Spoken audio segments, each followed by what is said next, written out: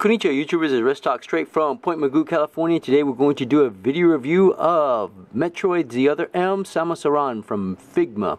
Let's go ahead and take a look at the box and you can see in there Metroid The Other M. Figma series, Samus Aran number 133, Metroid Other M.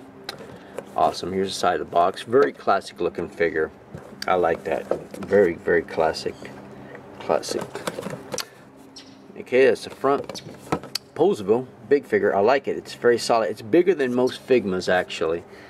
So this is one good thing about that. It is to scale. After all, the girl is six foot three, so most of the Japanese people are five foot four for females, anyways.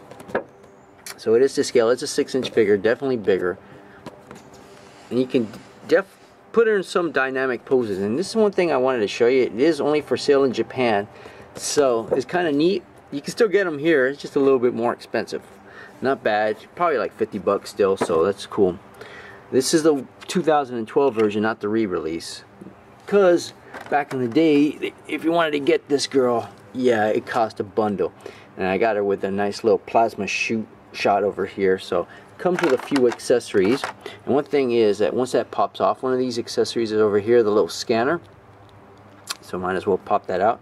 I like it because here it is with scanning but let me show you the accessories we got we got two extra pairs of hands, splayed open, grips, thumbs up. Ooh, I like thumbs up. Changing is relatively easy, and one of the things I don't like is that the joints are rather small for the hands, so I don't like that. I already showed you the plasma shot, so we got two sizes, single shot, you got the single shot and double shot there, so sturdy. And I like it she can morph into a ball. And definitely not to scale. Definitely not to scale because I can't believe that little body is going to compress like that. So yeah, but then again, if I had a ball to scale, it would be huge, you know, cost, drive production cost. And this thing's 50 bucks.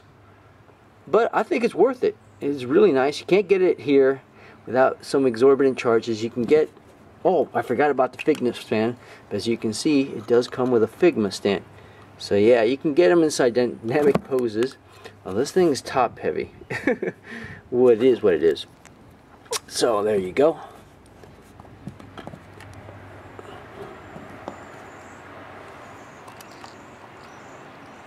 Very nice, very nice. I like the figure, very detailed figure. So let's take a look at it. First thing I want to mention is over here is that the helmet is not translucent, it's painted on, but it's absolutely gorgeous. The detail here, the speckles on the chest over here, very nice. The green, neon green. This is from Other M's, so I don't know how it varies. Like the copper gold here, or the copper finish here, the green definitely complements that tone. Nice little gold finish. I like the hips over here, how it tries to maintain some seamless fashion back jetpack over here. Very beautiful red coloring. This is gorgeous. And this is, of course, the little Figma stand. And this is the thing. Figmas, yeah, they go all out. Articulation, not bad for what it is. It is, after all, a robot suit. So we got that. Not too much on the head. It is on a ball joint, but it is limited because, because of the visor. Good coloring, gunmetal gray. Shoulders are kind of weird. You can see a gap in there. And I think it's just, there's two joints, I don't know if you can tell, but one for the shoulder pad moves so it allows some movement, and one for the other shoulder, or the shoulder itself, so it allows movement. No bicep swivel, double jointed on the elbow, which is really nice, a Figma joint, swivel, and these, the hands are just gorgeous, very well displayed. Only thing is I don't like is how easy they pop off. They pop off relatively easy, which is good I guess for interchanging it. So we'll give a good thumbs up for that. Torso articulation, very good, very nice. Looks like it's just on a swivel or double or that Figma joint. Looks like it can come off easy. All right, oh, ball jointed. Didn't expect that, but I think because of that we do have some thigh swivel. So these joints do allow it to move. Very good movement over here. No upper upper swivel, little bit. Double jointed knee with good amount of flex. Good amount. Not that pointy here, but I gotta gotta point out, no pun intended, that these are really sharp, really sharp. So be careful when you handle that. The back of the boot, yeah, really sharp. Figma joint swivel here, so allows for a good swivel. Also, didn't even notice that ankle swivel, and of course the little trademark Figma step, whatever that's called.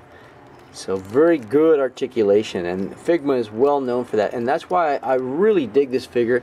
It's 50 bucks. It's kind of basic. Doesn't have that much, but it really doesn't need that much. So let me go ahead and interchange that. So you want to put them. So you want to put them in good poses right here. You can like, hey, I'm getting ready to fire this thing. No problem.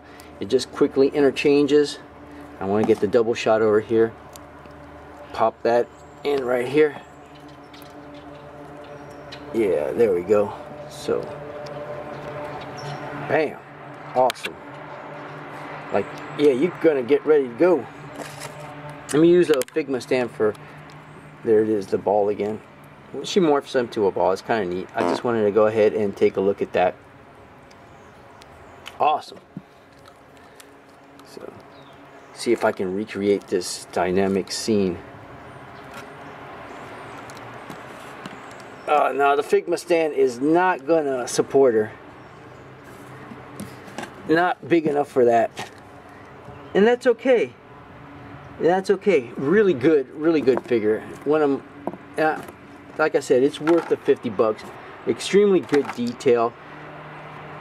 Yeah, normally I won't say pay 50 bucks for a Figma, but hey, it is really nice. Really nice. Let's give it a little size comparison. This is a Megatron. She is a 6 inch figure.